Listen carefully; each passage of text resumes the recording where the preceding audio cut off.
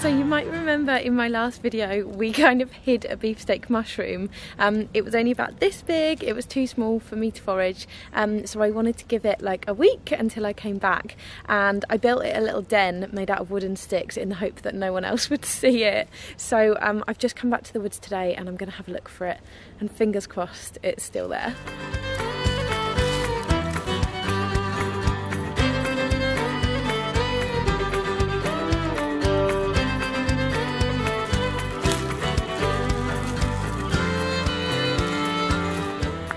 Okay, I found the den. Oh, okay. And it's pretty, it's pretty good. It's looking good. It's a bit bigger, not loads bigger, but that's still really nice and firm and kind of perfect. Oh, I don't know whether to, I don't know whether to give it a few days or take it now. So I've decided what I'm gonna do is keep walking through the woods and see if I can find more beefsteak mushrooms um, because I think I want one that's a little bit bigger. I've Got to go over here now.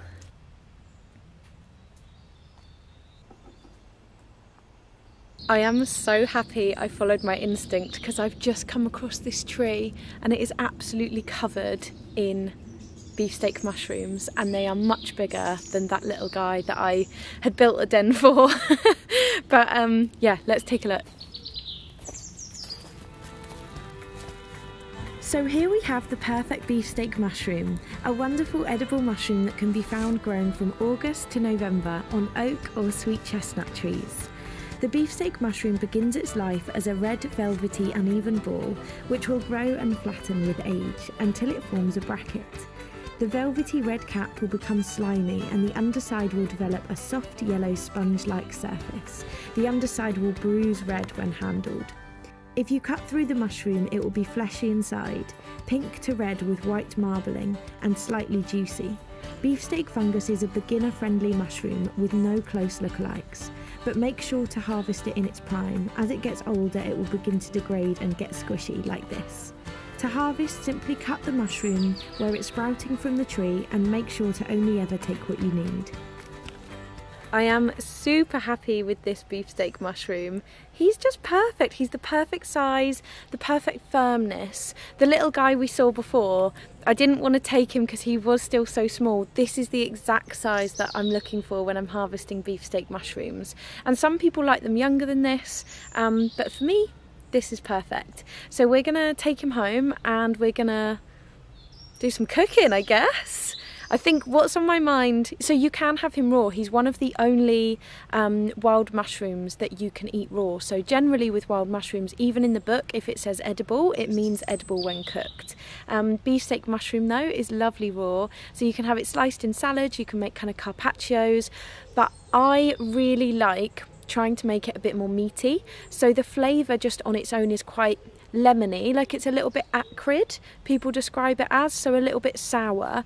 Um, and just a bit mushroomy, but it's called a beefsteak fungus. You've got to make it taste like a beefsteak. So we're going to marinate it in loads of kind of umami flavours and make it kind of taste really beefy.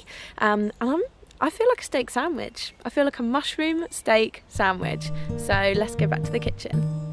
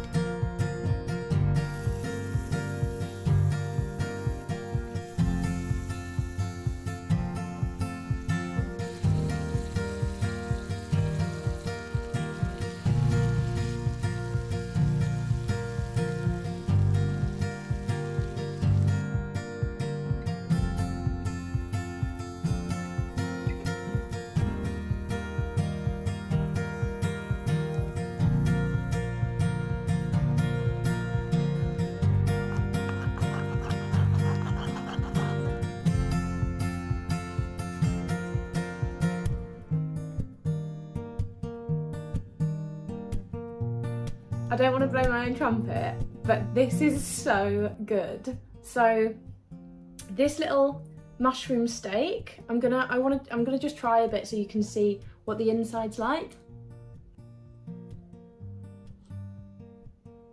But it is so good. The kind of lemony taste just gives it a real tang. And because we've marinated it in kind of umami flavours and um, some sweet as well, it just really balances out. And the texture of it is so, so good. Caramelized around the edges and then like just soft and melt in your mouth in the middle. So I, I honestly can't recommend this recipe enough.